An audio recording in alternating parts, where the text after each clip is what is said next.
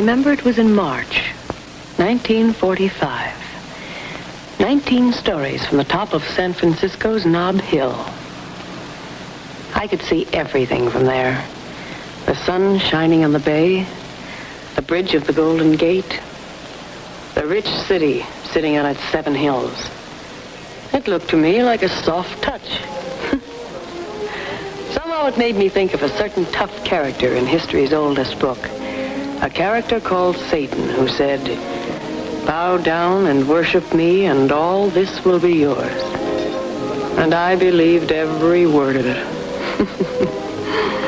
I couldn't have found a better place to match my mood on that bright day.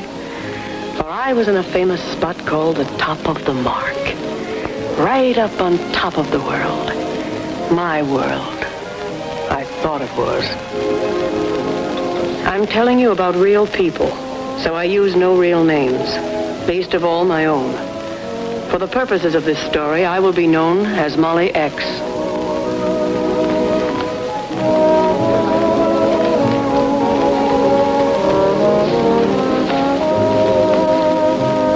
Great view, isn't it? Oh, you're cute. Get lost. Get lost.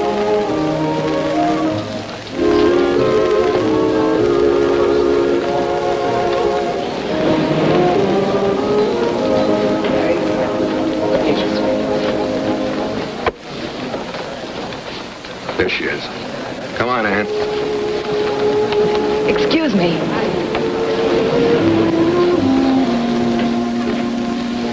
Rough. How's the little widow? Fine, Rod. What's doing in Kansas City, Cash? Not a loose buck in town. You're looking swell, Molly. Well, it's the climate. You should always wear black, baby. Yeah, grief becomes her, doesn't it? Well, surprised.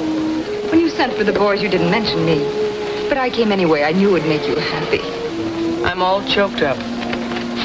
Bourbon, plain water. Same. Same, no water. What's the news from Kansas City, Cash? Anybody get a line on who killed Rick? You mean, uh, you don't know who murdered your husband? Shut up, Ann. well, after all, the wife very often knows. The coppers are stymied.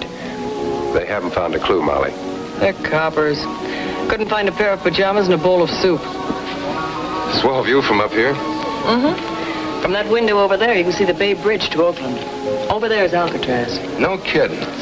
I always wanted to get a look at Alcatraz. Stick around Molly and you'll get a good look. Look, honey, that's San Francisco Bay out there. The water's deep and it's cold. And sometimes they don't come up. We're here to talk business. It's private. That means you, Ann, drift. What? Say, listen. You heard me. Go powder your nose. Did you bring her? She made such a squawk I had to. Buy her a present and send her back. Okay, Molly. What's the pitch? I've been here about three months now, putting on the dog in a lush apartment. Wealthy young widow from the East. You look it. I've cased a couple of setups that should be a cinch. So you're organizing your own mob now. A small, compact group could handle the jobs I have in mind. With two more good boys, we could clean up. Yeah. Uh-huh. Only remember, I'm running this show. You can count me in, baby. Cash? Oh, I don't know, Molly. I never took orders from a dame. Oh, Cash, you were Rick's best friend. I need you. I know I can depend on you. Come on, Cash. I feel lucky about this. I never depend on just luck.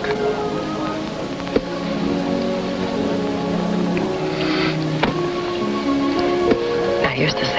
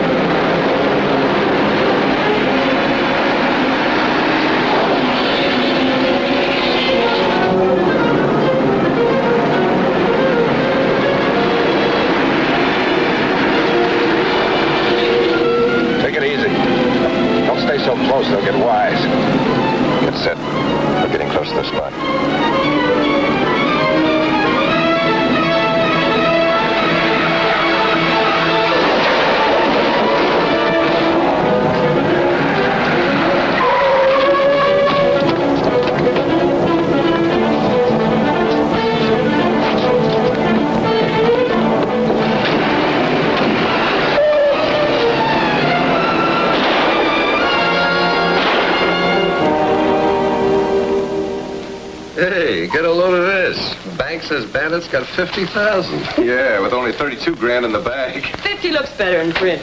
A strategic attack planned by a mastermind. That's you, Molly. Uh-huh, a dame that you wouldn't take orders from. I didn't say I wouldn't. I said I never did. You're a smart little number. Thanks. Don't get too smart.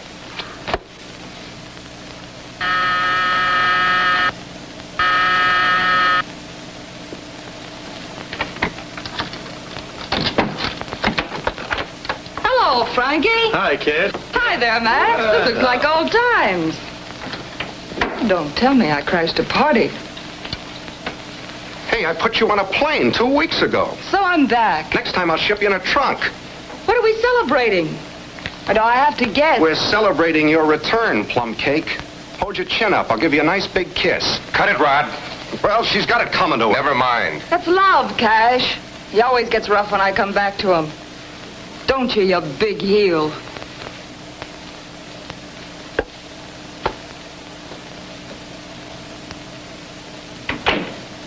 Living here now? You know I'm not. I know why you sent for Rod.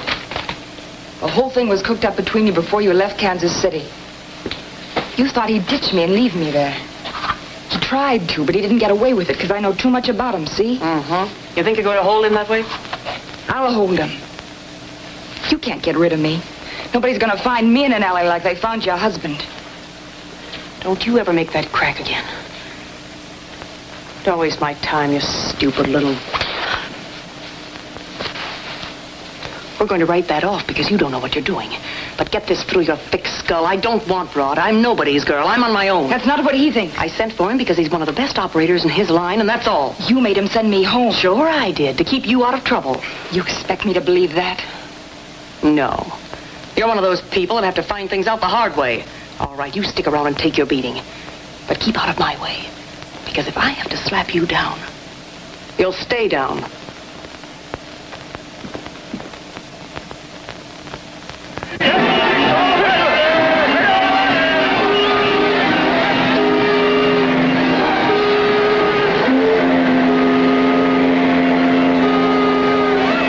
It's a good thing we set the date back. With these headlines on the street, tonight this town will really go nuts. Yeah, about the time we're ready for this job, all the crowds will be down on Market Street.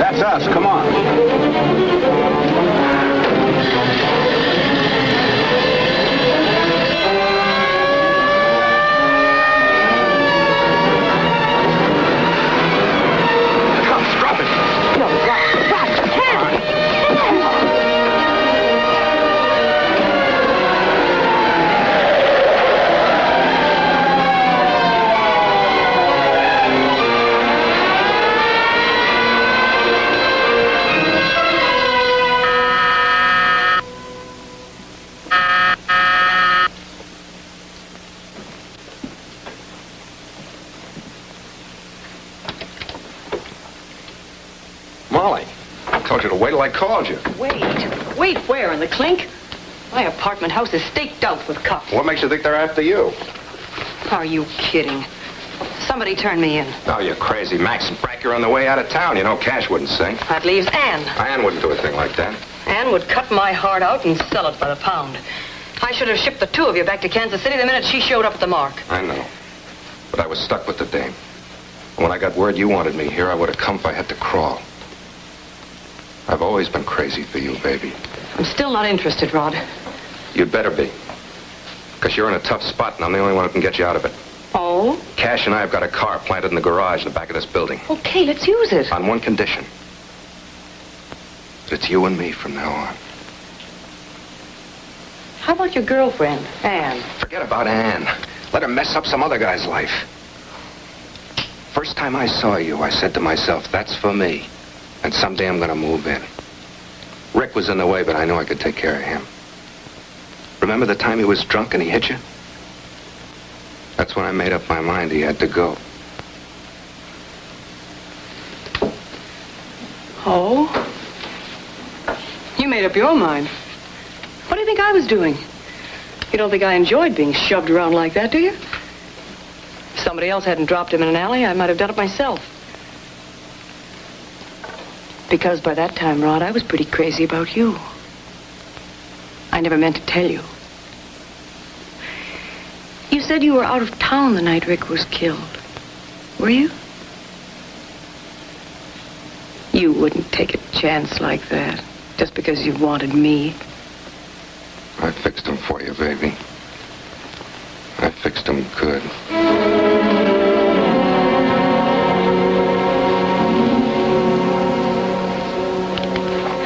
You gonna hold it against me? Oh, you're cute. You're rough, too.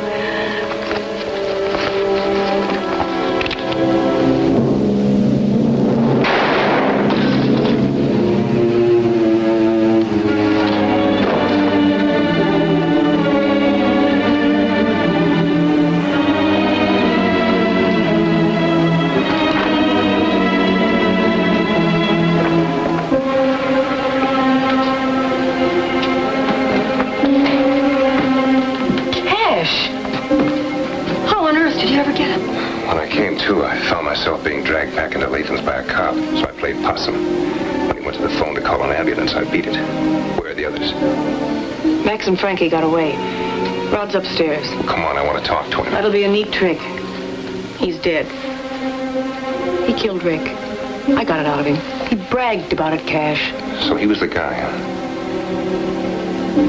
Sure. Sure, it all fits in. He was clearing the road so he could get to you. That's what he thought. But I gave him the same medicine. We can't leave him up there. Something. Get the card. Wait for me. You sure you're all right? Why shouldn't I be?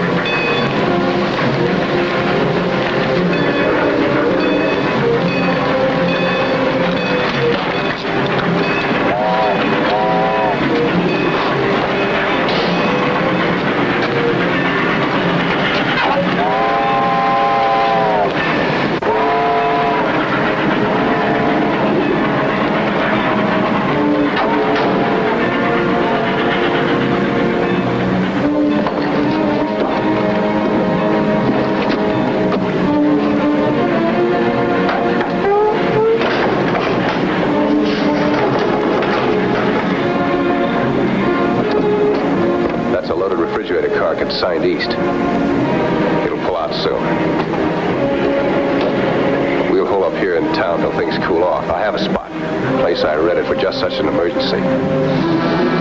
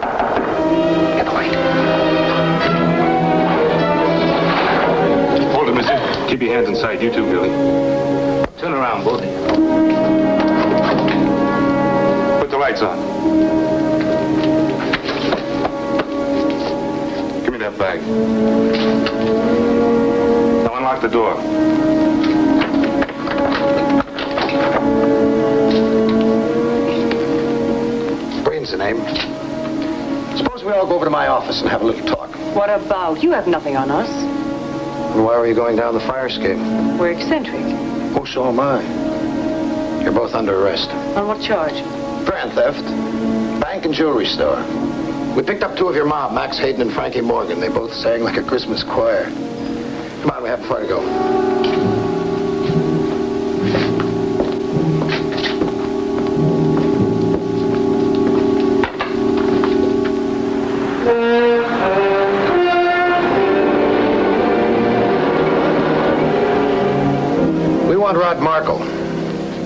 Where we can find him, and the prosecutor will recommend that you receive a minimum sentence.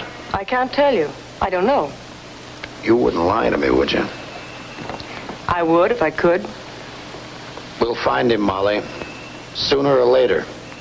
We'll bring him back.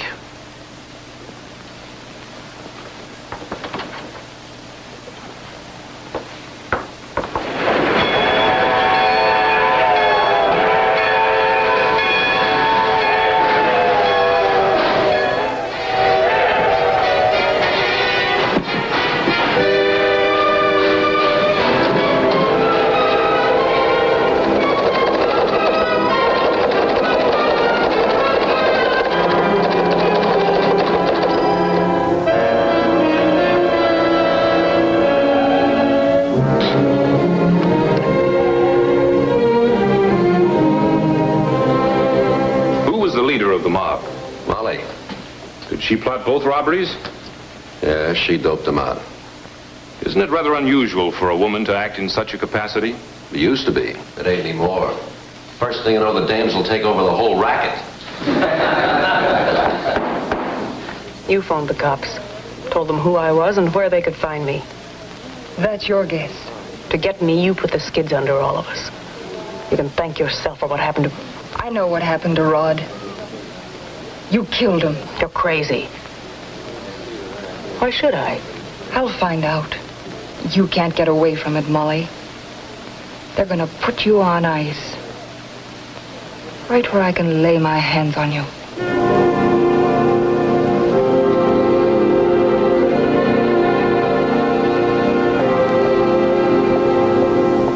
You are sentenced to be confined in the California Institution for Women at Tehachapi for a period prescribed by law.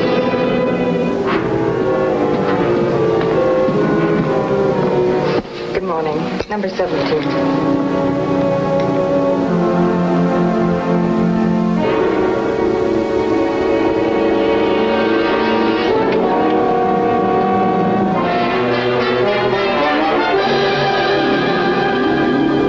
So you found nothing in that apartment? Nothing. Neither did we. You say Rod Markle had a yen for Molly? What about Cash Brady? It was Rod she wanted. Oh, Why should she rub him out? Husband was murdered in Kansas City. Yes, that came out at the trial. I believe that she and Rod were in that together. She was afraid the San Francisco police might get it out of him, so she killed him. What you believe will never get us a conviction. Juries demand proof. I'll show you the kind I mean. This is the bullet that was dug out of Markle's body. It's a 38. Under a microscope, you would see that this slug is indelibly marked by the rifling of the gun barrel from which it was fired. If we can find that gun and tie it up to its owner, we've got a pretty good idea who got Markle. I told you Molly's gun was a 38. Okay, but where is it? If I could work on Molly, I'd find out.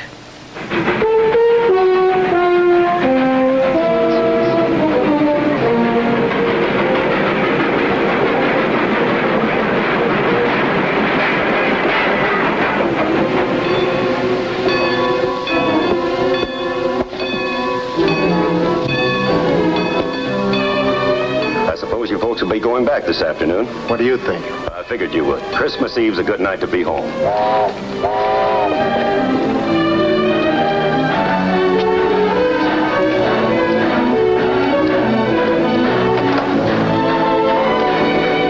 Sunny California.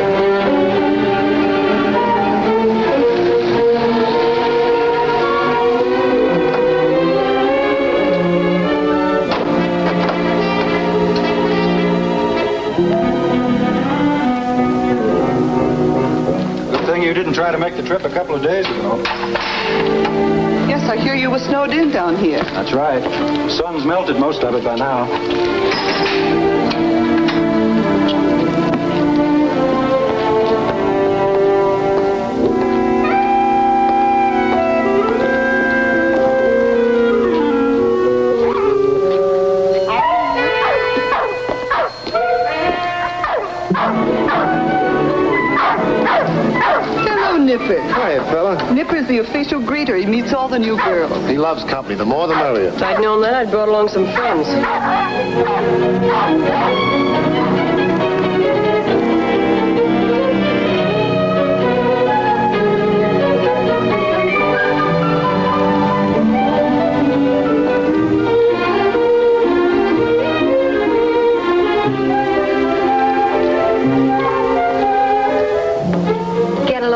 New fish. Look at the coat. Looks like she's been doing all right. Hey, that must be the Molly we've been reading about.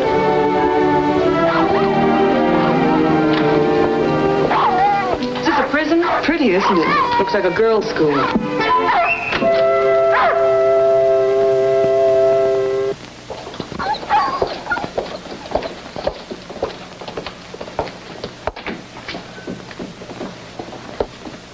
Miss Horton. Oh, hello, Miss Prentice. How are you, Mr. Lang? Fine, thank you. This is Molly. Hello. We want to catch the afternoon train back to town, so if you'll just sign for Molly, we'll be on our way. All right. I'll do that. Merry Christmas. Thank you. Goodbye. Good luck and... Don't say Merry Christmas. All right, I won't.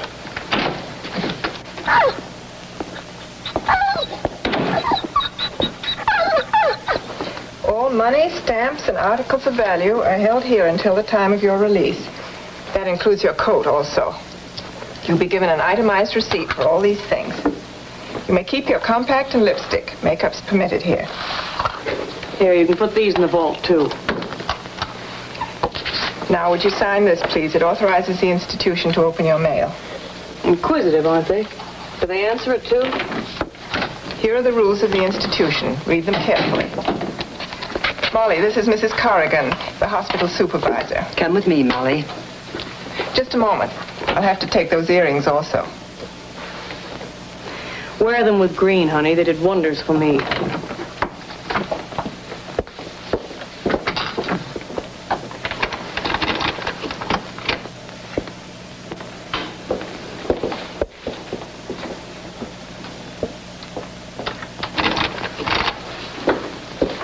Why was I brought up here? Every newly admitted girl spends her first two weeks in the hospital in quarantine. You'll occupy this room.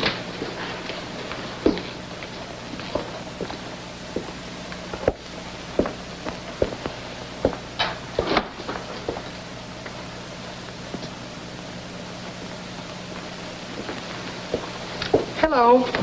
I'm Miss Gregory. I'll take care of you. I'm not sick. All right. Take your clothes off. What for? Bath and body examination. I don't need an examination, and I don't need a bath. Don't you want to be clean for Christmas? Why? Does the cleanest girl get to see Santa Claus? Take them off.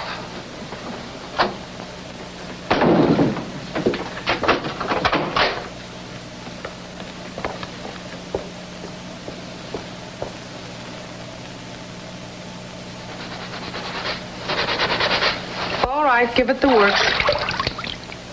You don't have to sit there and watch me. I've been doing this job for years. Aren't you kind of finicky for a girl who thinks she's so tough? Yes, I am. Yes, you are.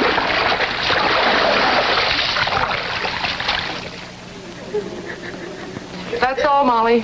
I'll call you when the dentist is ready for you. Minister, doctor, dentist. What are you trying to do? Make me over? Only you can do that. Aw, don't take on so, honey. You'll get used to it here just like I did. This is my third trip, but I'm not squawking. Oh, in 30 days, you can have visitors and your folks, and your husband will come to see you. No, he won't. He can't come. Why not? I shot him. He's dead. well, you're sure a healthy specimen. I tried to tell you. Say, have you got a cigarette? Yes, here. You can keep those. Thanks a lot. What do I do with this? Oh, you roll your own here. Tailor-mades aren't permitted. They are. Why? Why not? Fire hazard. They don't go out when you lay them down. That kind does. Be seeing you. Who's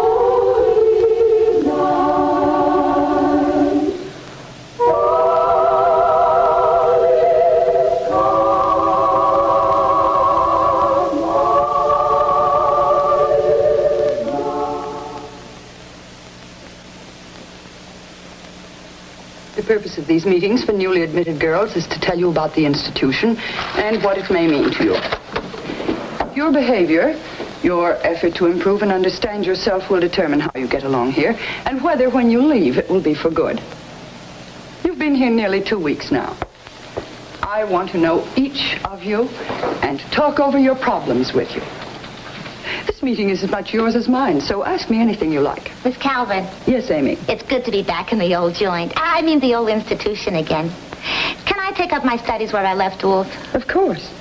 You see, every new girl is privileged to enroll for part-time studies during her stay here. I was in second year high when they turned me loose the last time. When do we find out how much time we got to do? Under the penal laws of this state, every convicted person is given an indeterminate sentence. After your first six months here, you will be called before our Board of Trustees, and they will determine the time you must serve. Who's on the board, men? One man. And four women. I'm a dead duck. The six months period gives our staff time to study your case as a physician studies his patient's case history and prepare a summary of each girl's case for the board. The law sends you here as a punishment. Our job is to try, with your help, to enable you to get along in society after you leave. Look into your hearts and face what you find there. You can never hide from it. Never escape it. Any other questions?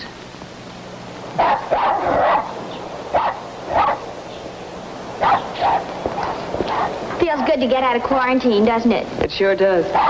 So this is the college campus. Yeah. This is where we live and learn. Which cottage have I been assigned to? Davis. Last one on the left. I'm on the house council at Davis. Sort of a trustee. No, they don't use that system here. House councils help out with the new girls, like I'm doing with you. What are you in for, Vera? Forgery. Short story writer. Yeah, only I didn't know how to write a happy ending. Here's a line of work that might interest you, Molly. What makes you think I'm interested in work? We all have to do something. These girls are being trained to become expert cutters and fitters in women's tailoring.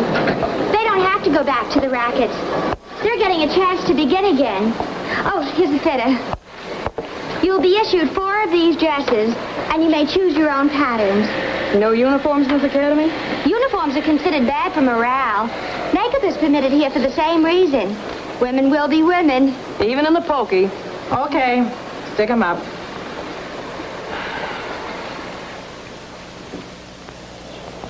This is it, Molly. You can move right in. Anyway, I won't have to worry about the rent.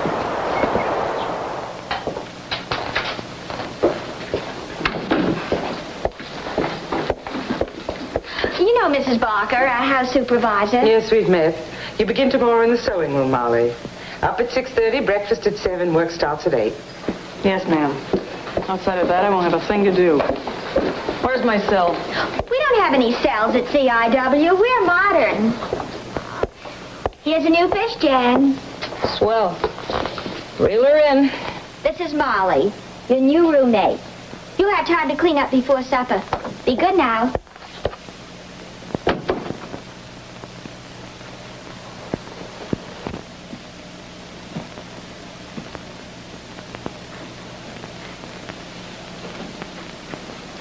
I guess I draw the top bunk, huh? You're a good guesser. Here's your hook. Thanks. This is mine. Now I know how it feels to be a sardine. Was it you who decorated this homey little rat's nest? A few bright colors help. What's most important is a girl's state of mind. Hmm. I'll keep my own state of mind. Well, the Brady type. These are yours, of course. Must I be a moron to be in Tehachapi? I've got one, too.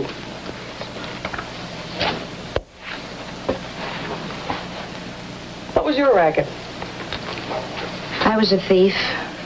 Same as you. I read about your case in the papers. Molly, the blue-eyed bandit. Oh, they worked that gag to death.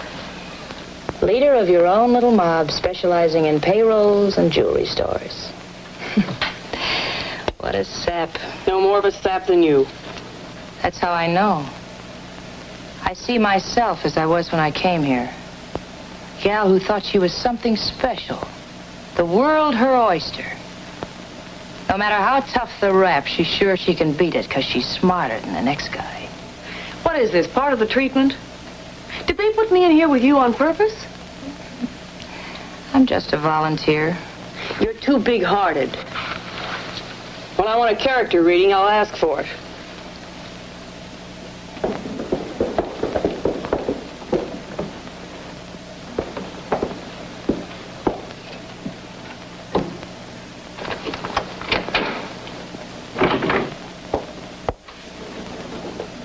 Feeling well, Molly? I never felt better in my life. And why aren't you up and dressed? It's time for breakfast. Fine. Send in a menu. I'll have mine in bed. You were told to report to the sewing room this morning at 8 o'clock. Look, I'm a career woman, but I didn't come here to learn a new trade. If the taxpayers want to keep me, that's their grief. Judge didn't say anything about going to work. Everybody works in this institution. Sure. Sure they do. I saw them. 90 or more of them. Stitching corduroy pants and denim shirts for cons at Folsom and San Quentin. You think I'm going to sit at one of those machines seven hours a day doing the same thing over and over again till I haven't got a thought left in my brain? You're nuts. Let them work, the dumb clucks. I won't, and you can't make me. Go on, put me in solitary. There's nobody around here I want to talk to anyway. You can't change me. You're never going to change me.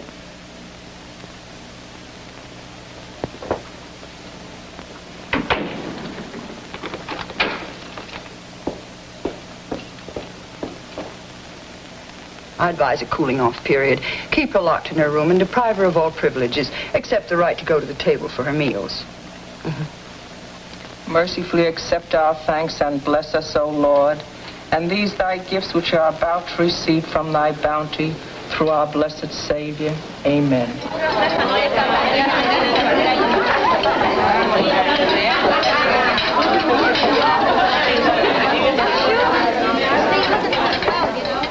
She thinks she's too good to work like the rest of us, so we're not talking to her.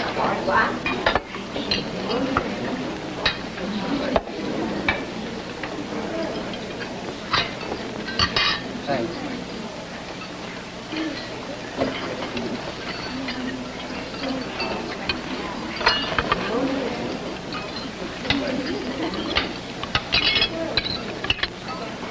I'm Judy.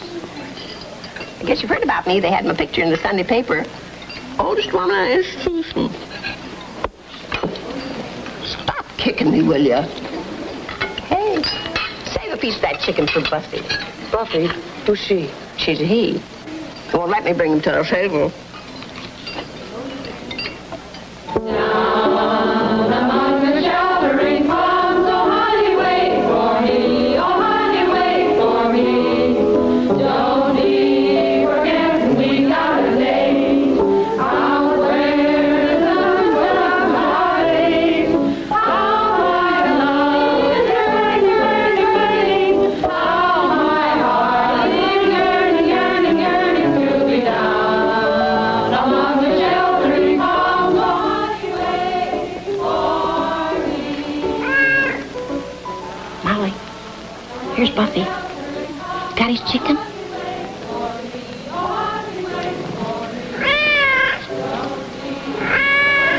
Giving you the silent treatment because you won't work. I like a girl that's got spirit and a spitfire all my life. Good girl. Where'd you get Buffy? Was born here. Gotta have something to love. Some has got cats, some canaries. One girl's got a chipmunk. She's old, she don't know no better. How long have you been here, Judy? They brought me down from women's section in San Quentin when they opened up this place in 33. I'm a charter member. You got a life? Yep. Feller I killed had it coming. That made no difference to the jury. I nearly got the rope. It's the way they done it then. But they commuted me. There's a condemned woman in here now waiting to go to San Quentin. I know. Poor thing. Everybody's hoping she'll get a commutation. I ain't so sure about that. Murder's a tough rap to beat. Yeah.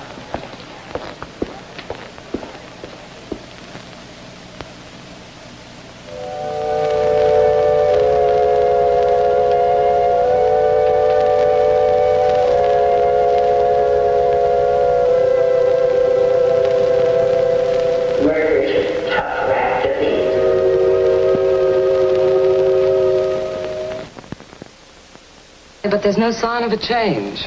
I believe the underlying reason for her behavior is a suppressed fear. Fear of what, I don't know. The psychiatrist refers to something like that. Here in his report on Molly, Dr. Connor says the subject gives the impression that there's something about her case which she's hiding. Well, call her in. I'll talk to her. Any other problems? No, I'm sure we've covered everything.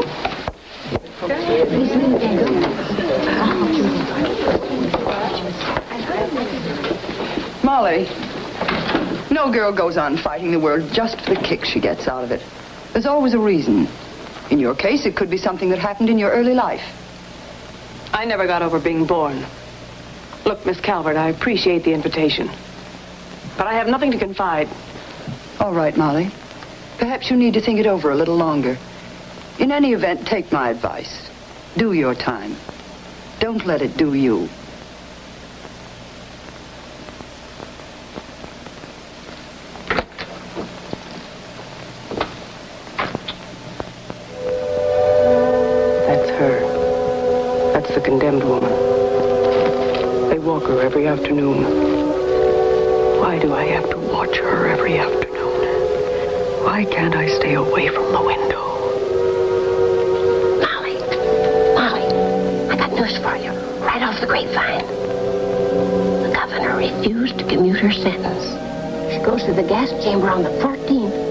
Her to San Quentin early in the morning before anybody's up.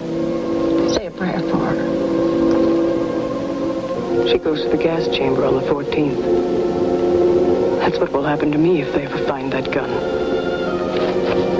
I was justified in what I did.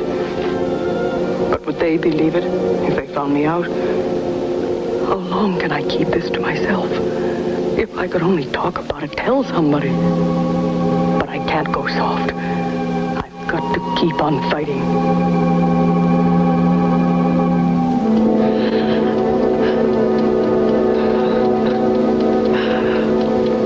What's on your mind, Molly? It's tearing you to pieces. That woman. They took her to Quentin early yesterday. She dies at 10 this morning. Apparently you don't believe in capital punishment. How do we know what made her bad? How do we know what happened to her at home? There. That's where to look for reasons. It doesn't help much when it's murder. Well, that's where it started with me. My dad was swell. And six weeks after he died, my mother was married again. To a no good nothing of a guy. Six weeks.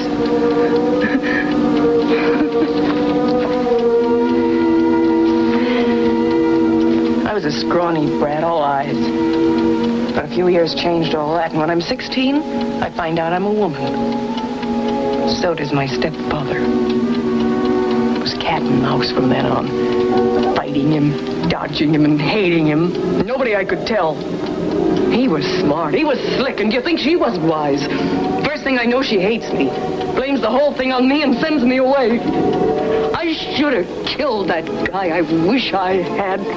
He had it coming to him just like... Just like who? Just like nobody. I'm sorry there's been delay in sending you further information, but we've been so short of staff that...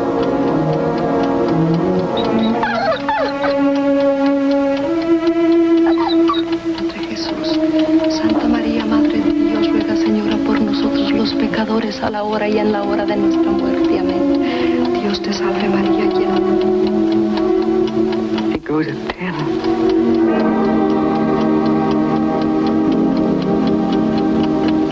Goes at 10. We humbly commend the soul of this thy servant, our dear sister, into thy hands.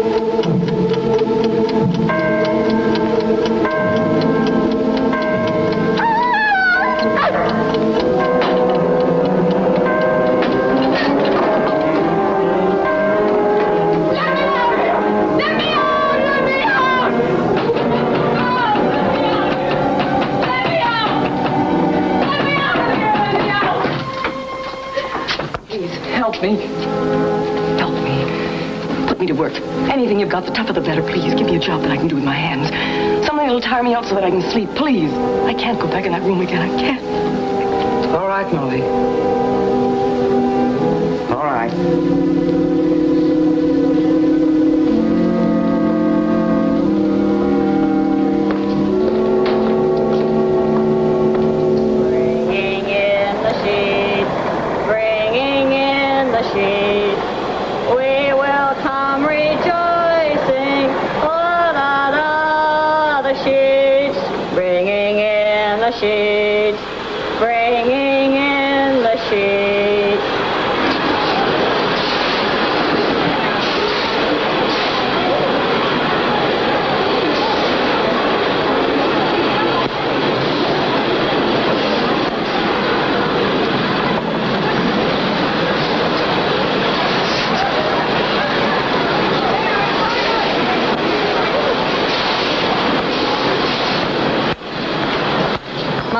Put out that cigarette.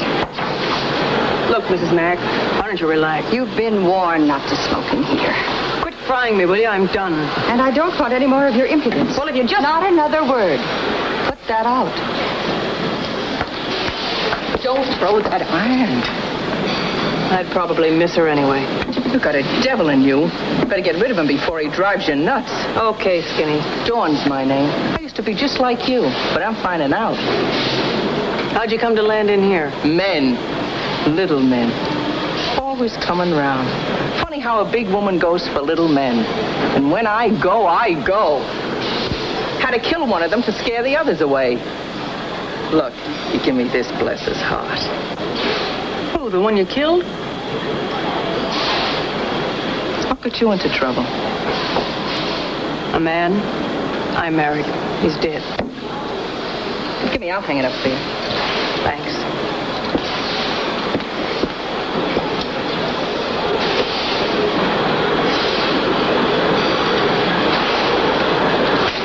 I'm sorry. I You're didn't... sorry. Don't you go shoving me around. Who's shoving? How do I know you're going to back your big trailer into the alley? Oh, you fresh fish. I ought to hang one on you.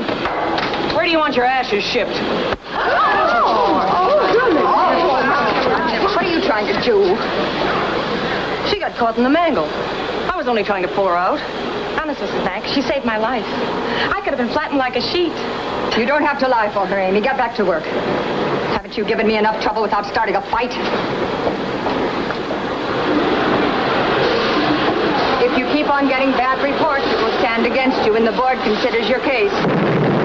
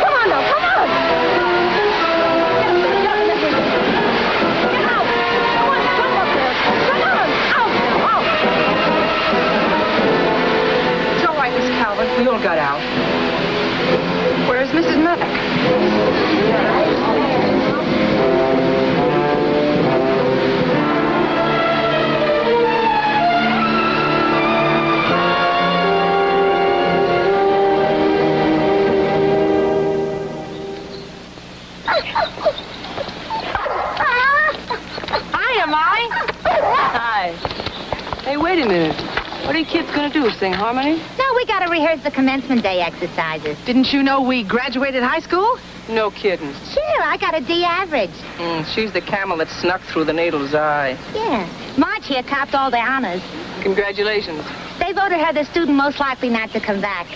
Well, come on, you guys. We'll be late. I'm sorry, Dawn. I didn't make chapel this morning. I just wasn't up to it. That's what you say every Sunday. How can you get saved if you don't stand up and be counted? I don't want to get counted. What do you want me to do? Put on an act? Act like a phony? Uh-oh. Here comes a load of new fish.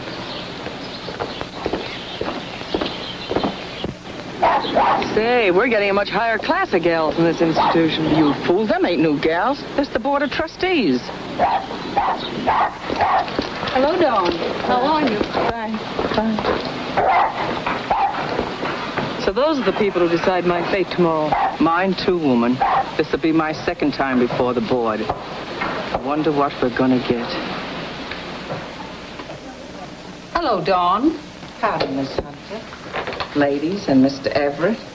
Sit down, Dawn. Thank you, ma'am. You were convicted on a charge that makes a term of from six months to ten years mandatory. The charge of manslaughter. Is that understood? Yes, ma'am. I slaughtered him. At the time of your trial, you pleaded self-defense. Yes, ma'am. You claimed that this man attacked you. Yes, ma'am. He threw a stove at me. It was just a little bit of a stove, and I wouldn't have minded that, but it had a fire in it. It was then that you reached for the hammer? Did you mean to kill him? No, sir. Just to put a dent in him. I don't know my own strength. Very well, Dawn. We'll call you back when we've decided your case. Thank you, ma'am. You understand me. I know I done wrong, and I'm not looking for no mercy. I'm not looking for no justice neither. I couldn't take that.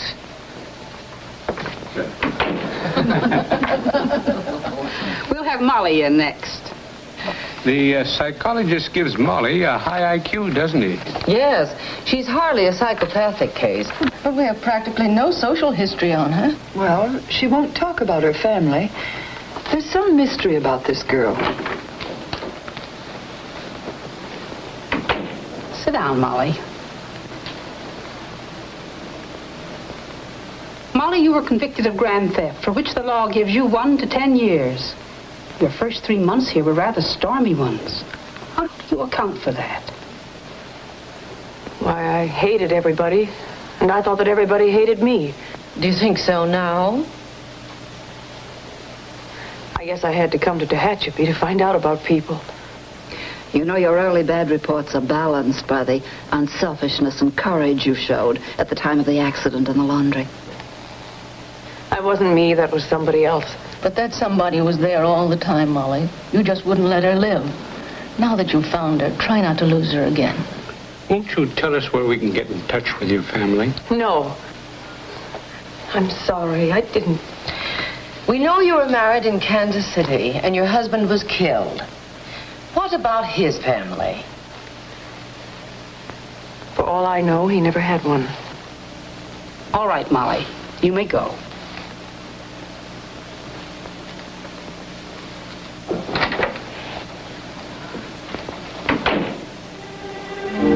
I fixed him for you, baby.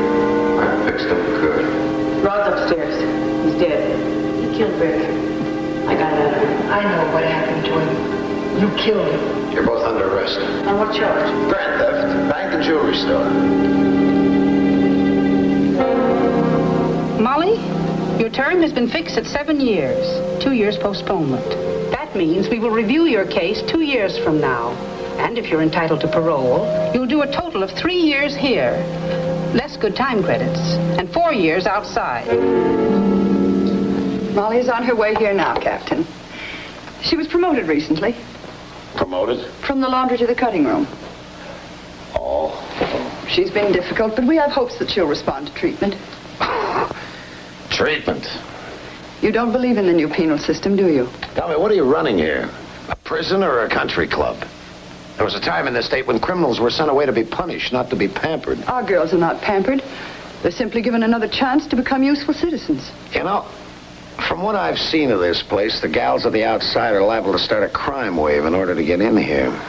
There is no substitute for freedom. Does a hospital treat dangerous diseases by locking up the individual and then turning him loose to do more damage? Our duty to the people of this state is to take the evil they send us and try to turn it into good. We have our failures, but if our critics would take the trouble to dig up the truth, they'd find that a very small percentage of the women committed here ever come back again. Pardon me. Yes? Send her in. Molly's here now. I'll leave her alone with you. Molly, here's an old friend of yours from San Francisco.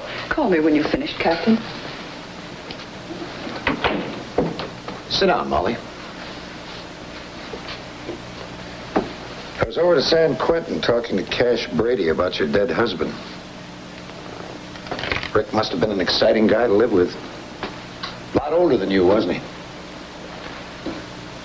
Understand Cash was his best friend. That's right. What did you and Cash do with your guns the night you were arrested in San Francisco? I never had a gun. Well, Cash had one. 38. Rod Markle was killed with a 38. Was he? Came out at the trial that Max Hayden and Frankie Morgan were the last ones who saw Markle that night. You think they killed him? They had no reason to. Well, who had a reason? Nobody that I know of. Wasn't Cash kind of crazy about you? Of course not. Well, I know Markle was. I believe you and Cash were the last ones who saw him. Markle wanted you to go away with him. You might have done so. Cash turned up in time to stop it. Cash killed him, didn't he? No. Well, you've given them all a clean bill of health, Molly. Kind of puts you in the spot. Don't you think you better tell the truth and save your own skin? I tell you, I don't know who killed him. I don't know. Thanks. You've been a great help. Please, can I go now? Sure.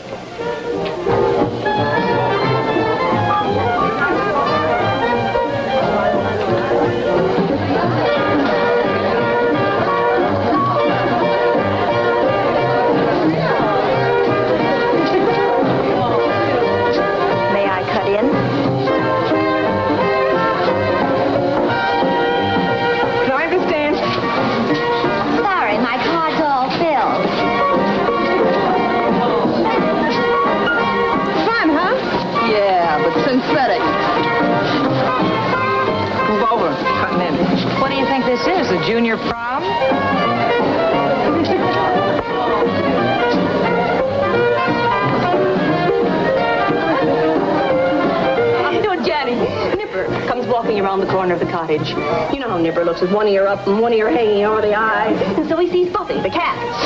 Oh. and Buffy's being very elegant lying there like Cleopatra.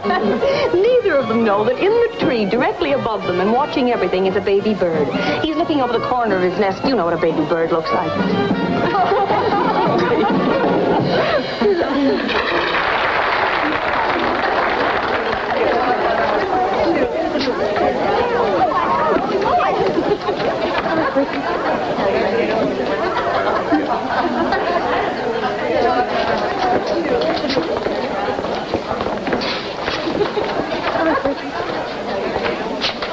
Hi, Molly. Good to see you again. Didn't you know I was in quarantine? No, naturally. I was committed under my own name. I haven't used it in a long time. Jenny, this is Anne. Hi. Molly and I were great pals in Kansas City. I knew her husband, Rick. And she knew my boyfriend, Rod Markle.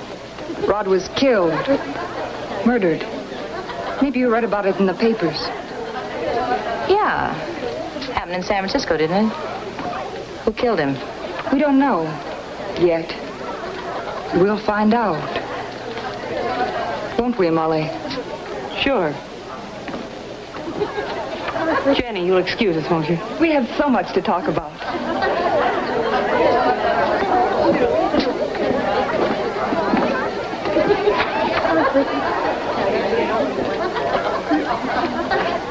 So much to talk about. What are you in here for? Forgery. One count. I could have had probation, but I talked my way out of it. Nothing could keep me away from you. Listen, I've had plenty of trouble here, but that's all changed now. And I'm getting out in seven months. That's what you think. But you start something, sister, and so help me, I'll beat your brains out if I rot here the rest of my life.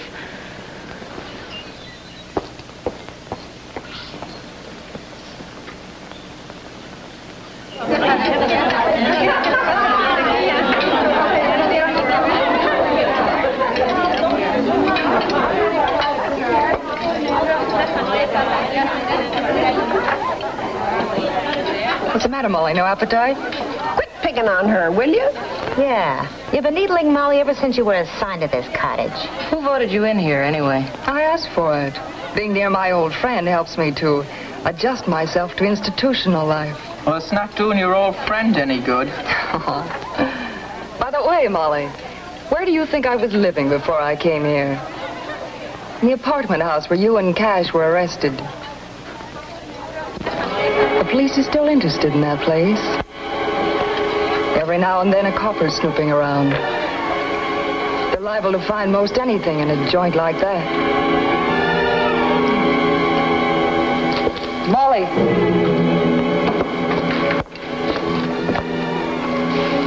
It may interest you to know that I saw the slug they took out of Rod. A 38. Max Hayden told me that you had a 38, that Cash gave it to you. Nobody can pin that rap on me. Don't kid yourself. The only way you'll ever get out of this place is on a one-way ticket to the San Quentin gas chamber.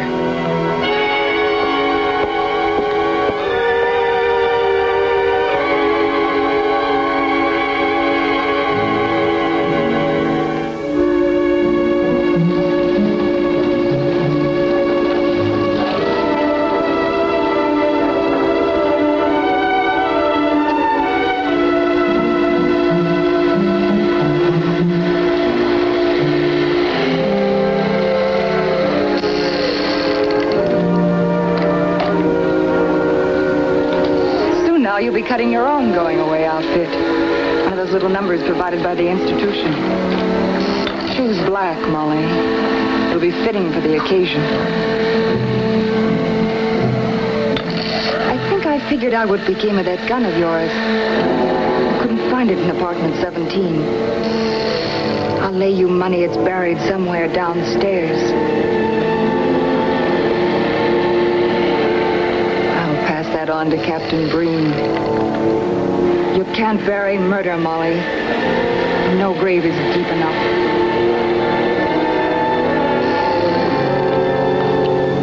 I dare say most of you know me by now, but for those who don't, I'm Mrs. Ellie Mason of the Los Angeles Parole Office. She's a swell guy. Thank you, Amy.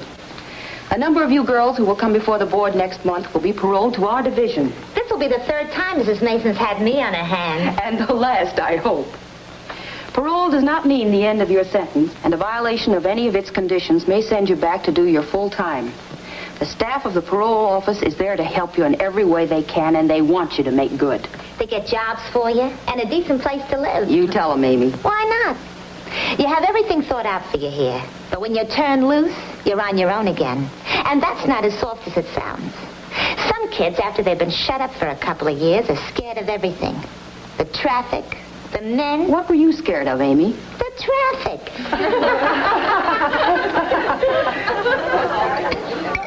You know it's getting so you can't keep a thing in this place? I had my fountain pen swiped out of my room this morning. My locket with my husband's picture in it. It's gone. How about that? Did you report it? No, I don't want to call copper. But you've got it. We can't let this go on. Did you hear that? This thing is getting serious. I told you somebody caught my new lipstick. Have you girls lost anything? What have I got that anybody would want? Hmm, My treasures are still intact. My charm bracelet's gone. Somebody's practicing for a broken back. Molly? I've lost nothing. I'm short a bottle of cologne. Girls, we gotta face it. Sure as shooting, there's a thief in the joint.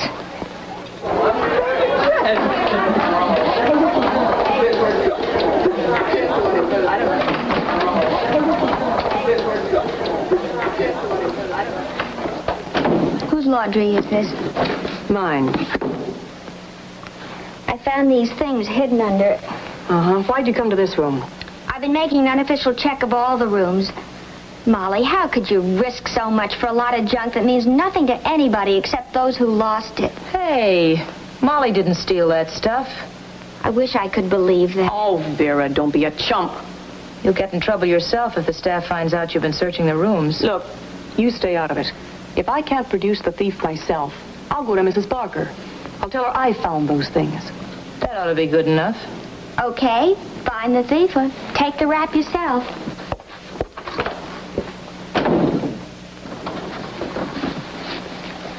How do you like that?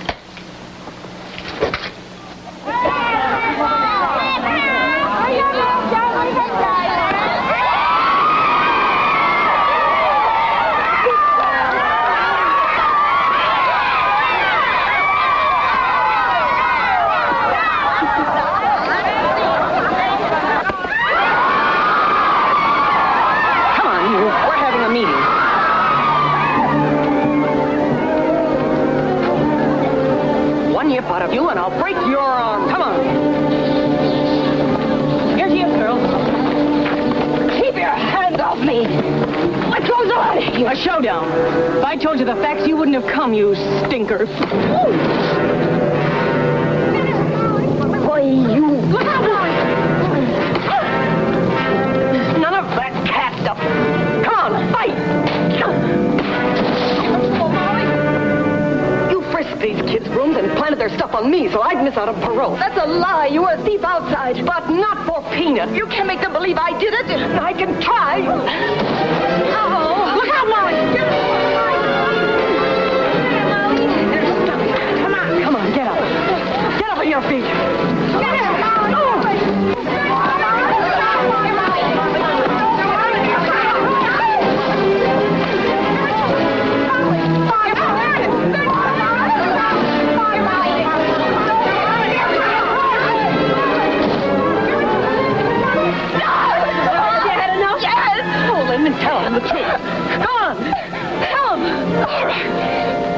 This stuff. I hid it in Molly's room. What are you girls doing here?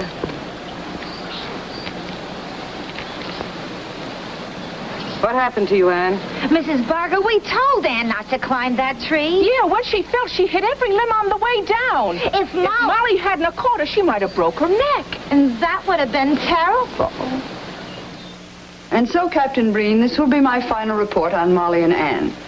Molly is leaving today for Los Angeles.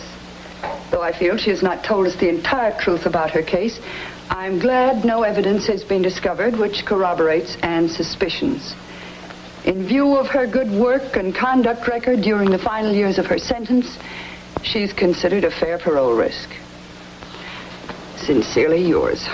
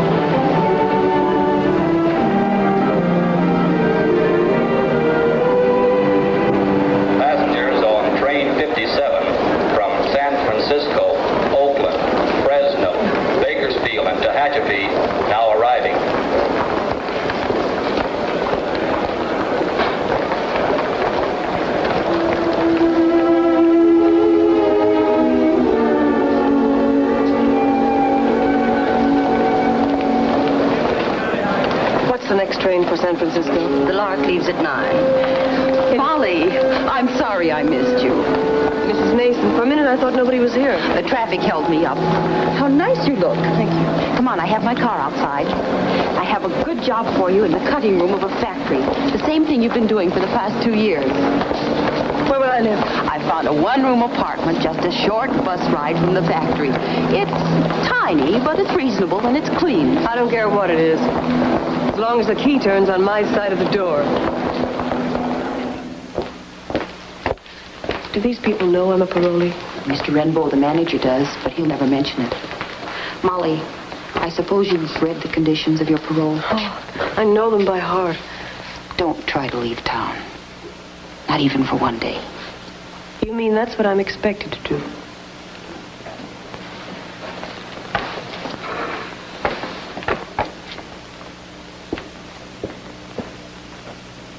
Morning, Mrs. Mason. Good morning. Just a moment, please. Mrs. Mason's here, Mr. Renbow. Send her in, please. Go right in, please. Thank you.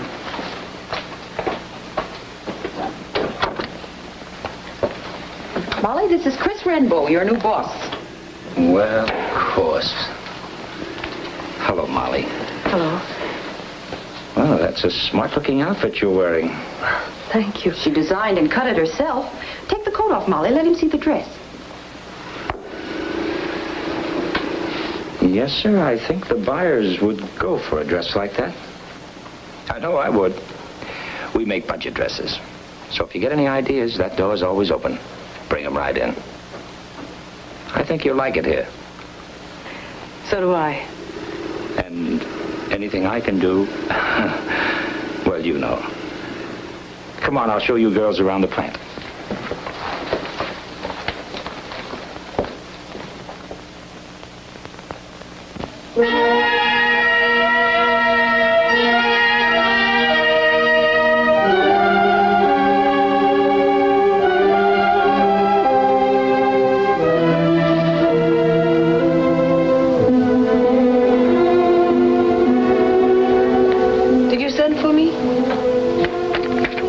Yes. Molly, we're well satisfied with your work here. But I'm afraid I've got to take you off that cutting room job. I like these drawings you left on my desk, particularly this model. Where'd you learn to do this sort of thing? Tehachapi. I might use a number like this for a new spring line. You've got a new job. I thought I was fired. Not a chance in the world.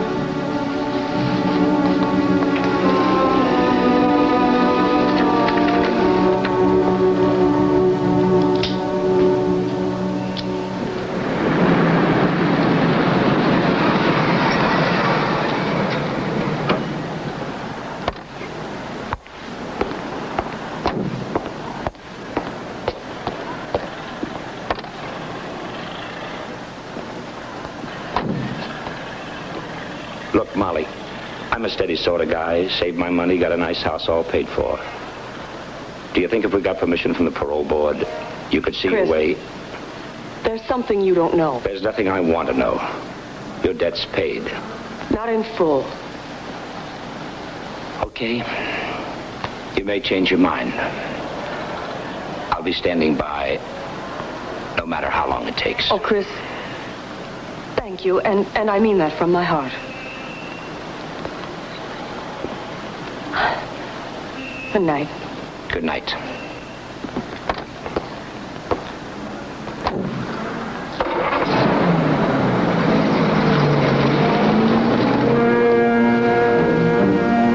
Now that you're in the clear, you won't have to say goodnight to him at the door. What are you talking about? You mean to tell me you don't know that Captain Breen has arrested Cash Brady for the murder of Rod? I don't believe it. Why do you think I went to all this trouble to look you up? Why I don't believe it. Why should you? Well, I just thought you'd know. I wanted to see how you were taking it. Look at this. San Francisco. Cash Brady, convicted bandit, was taken into custody today and lodged in the county jail in San Francisco.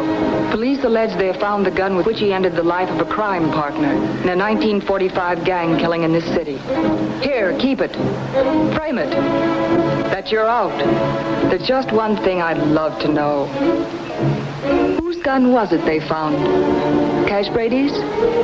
Or yours?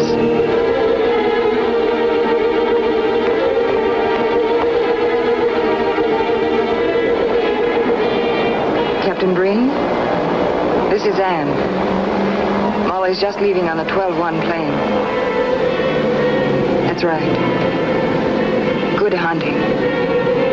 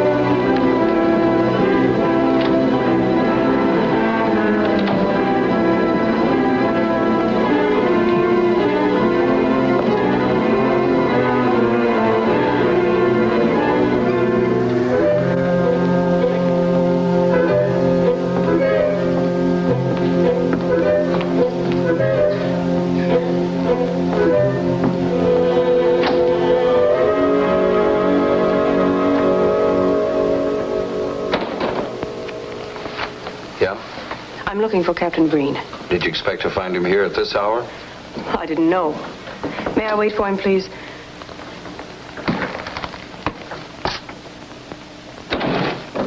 Sort of out of bounds, aren't you, Molly?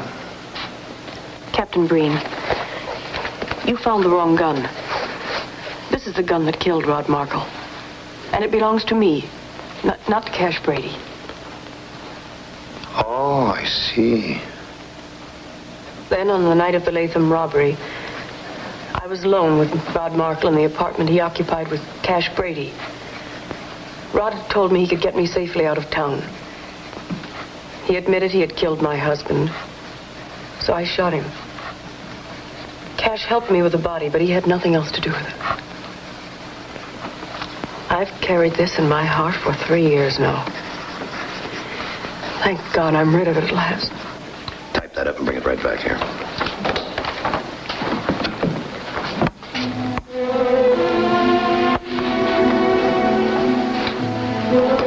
Hello, Molly. Cash.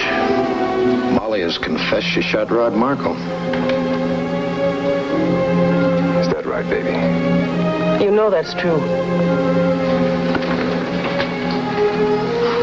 You haven't got it quite straight, kid. Prove that the slug they dug out of Markle was fired from my gun, not from yours.